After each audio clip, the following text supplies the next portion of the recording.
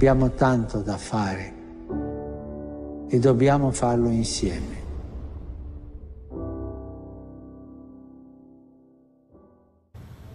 മാഗ്നിഫിക്കാറ്റ് മാർപ്പാപ്പയുടെ പള്ളിപ്രസംഗങ്ങളിലേക്ക് സ്വാഗതം ഇത് അഞ്ചാമത്തെ എപ്പിസോഡാണ് പരിശുദ്ധ പിതാവിന്റെ പ്രസംഗങ്ങളുടെ സമാഹാരമാണ്.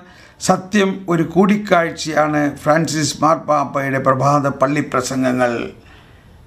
വിവർത്തനം ചെയ്തത് ഡോക്ടർ ജോസ് മണിപ്പറമ്പിൽ അഞ്ചാമത്തെ എപ്പിസോഡിൽ. ആവലാദികൾ ഹൃദയത്തിന് ഹാനികരമാണ്. രണ്ടായിരത്തി പതിമൂന്ന് ഏപ്രിൽ മാസം മൂന്നാം തീയതിയിലെ പ്രസംഗമാണ്. വേദവായന നടപടി മൂന്നാം അധ്യായം ഒന്ന് മുതൽ പത്ത് വരെയുള്ള വാക്യങ്ങൾ. ലൂക്കായുടെ സുവിശേഷം ഇരുപത്തിനാല് പതിമൂന്ന് മുതൽ മുപ്പത്തഞ്ച് വരെയുള്ള വാക്യങ്ങൾ. ഈസ്റ്റർ വാരത്തിലെ ബുധനാഴ്ച ആരാധനക്രമത്തിൽ വായിക്കപ്പെടുന്നത് വായിക്കപ്പെടുന്ന സുവിശേഷ ഭാഗം നമ്മുടെ ഗുരുവിന്റെ മരണശേഷം. ജെറുസലേമിൽ നിന്ന് എമ്മാവൂസിലേക്ക് പോകുന്ന രണ്ട് ശിഷ്യന്മാരെ അവതരിപ്പിക്കുന്നു. അവർ ഭയപ്പെട്ടിരുന്നു. എല്ലാ ശിഷ്യന്മാരും ഭയപ്പെട്ടിരുന്നു. തങ്ങൾ തൊട്ടു മുമ്പ് അനുഭവിച്ച കാര്യങ്ങളെക്കുറിച്ച് അവർ വഴിയിൽ വെച്ച് സംസാരിക്കുകയായിരുന്നു. എന്നാൽ അവർ പരാതിപ്പെടുകയുമായിരുന്നു. പരാതി പറച്ചിൽ അവസാനിപ്പിക്കാൻ അവർക്ക് മനസ്സില്ലായിരുന്നു. എത്രമാത്രം പരാതിപ്പെട്ടുവോ അത്രമാത്രം അവർ തങ്ങളെ തങ്ങളിൽ തന്നെ അടച്ചു പൂട്ടി അവർക്ക് ചക്രവാളമില്ലായിരുന്നു. അവർക്ക് ആകാശമില്ലായിരുന്നു. മുമ്പിൽ ഒരു മതിൽ മാത്രമേ അവർക്കുണ്ടായിരുന്നുള്ളൂ.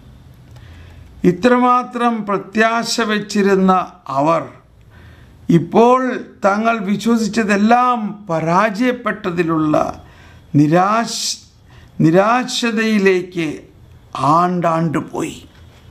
ഒരു നിലയ്ക്ക് പറഞ്ഞാൽ അവർ പാചകം ചെയ്യുകയായിരുന്നു. തങ്ങളുടെ ജീവിതത്തെ ആവലാതികളിലിട്ട് പരാതി കൊണ്ട് ഇളക്കി മറിച്ച് വേവിച്ച് കൊടുക്കുകയായിരുന്നു. അവർ പരാതിപ്പെട്ടുകൊണ്ടിരുന്നു. നിർത്താതെ ആവലാതിപ്പെട്ടുകൊണ്ടിരുന്നു. അന്തമില്ലാതെ. പ്രയാസങ്ങൾ വരുമ്പോൾ കുരിശുകൾ നമ്മെ സന്ദർശിക്കുമ്പോൾ നാം ആവലാതികളിലും പരാതികളിലും നമ്മെ ഇട്ട് അടച്ചു കളയുക എന്ന അപകടത്തിൽ ചാടുന്നു. എന്നാൽ ഈ നിമിഷത്തിൽ പോലും കർത്താവ് നമ്മുടെ സമീപത്തുണ്ട്. എന്നാൽ നാം അവനെ തിരിച്ചറിയുന്നില്ല. അവൻ നമ്മോടൊപ്പം നടക്കുന്നു. എന്നാൽ നാം അവനെ കാണുന്നില്ല. യേശു നമ്മോട് സംസാരിക്കുന്നെങ്കിലും ആശ്ചര്യകരമായ കാര്യങ്ങൾ നാം അനുഭവിക്കുന്നെങ്കിലും ഹൃദയത്തിന്റെ അടിത്തട്ടിൽ നാം ഭയപ്പെടുന്നു. നിരന്തരമായി പേടിക്കുന്ന പരാതിപ്പെടുന്നതാണ് കൂടുതൽ ഭദ്രമായ നിലപാടെന്ന് നമുക്ക് തോന്നിപ്പോകുന്നു. അതൊരു തരം സുരക്ഷിതത്വമായി നാം കണക്കാക്കുന്നു. എന്നെക്കുറിച്ചുള്ള സത്യം ഇതാണ്. പരാജയം. ഇനി പ്രത്യാശയ്ക്ക് വകയില്ല. എമ്മാവൂസിലേക്ക് പോയ ഈ രണ്ട് ശിഷ്യന്മാരോട് ഈശോ കാണിക്കുന്ന ക്ഷമ വിസ്മയത്തോടെ മാത്രമേ നമുക്ക് കാണാൻ കഴിയൂ. യേശു ആദ്യം അവരെ ശ്രവിക്കുന്നു. പിന്നെ സാവകാശം. വളരെ സാവകാശം. വളരെ മന്ദഗതിയിൽ കാര്യങ്ങൾ അവർക്ക് വ്യക്തമാക്കി കൊടുക്കുന്നു. വിശദീകരിച്ച് കൊടുക്കുന്നു. പിന്നെ അവസാനം അവൻ തന്നെ തന്നെ അവർക്ക് വെളിപ്പെടുത്തുന്നു. യേശുവിന്റെ കബറിടത്തിങ്കൽ നിന്ന് കരഞ്ഞ മറിയം മഗ്ദലനായോട് ചെയ്തത് ഇങ്ങനെ തന്നെ. നമ്മോട് ചെയ്യുന്നതും ഇങ്ങനെ തന്നെയാണ്. ഏറ്റവും ഇരുണ്ട വിനാഴികയിലും യേശു നമ്മോടൊത്തുണ്ട്. അവനെപ്പോഴും നമ്മുടെ കൂടെയുണ്ട്. അവൻ നമ്മോടൊപ്പം നടക്കുന്നു.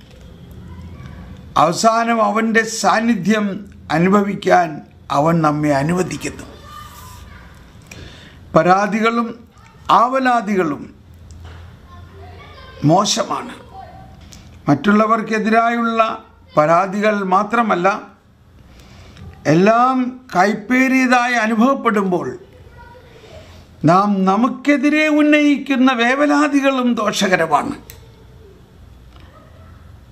നമ്മുടെ പ്രത്യാശ അവ എടുത്തു കളയുന്നത് കൊണ്ടാണ് അവ മോശമായിരിക്കുന്നത്.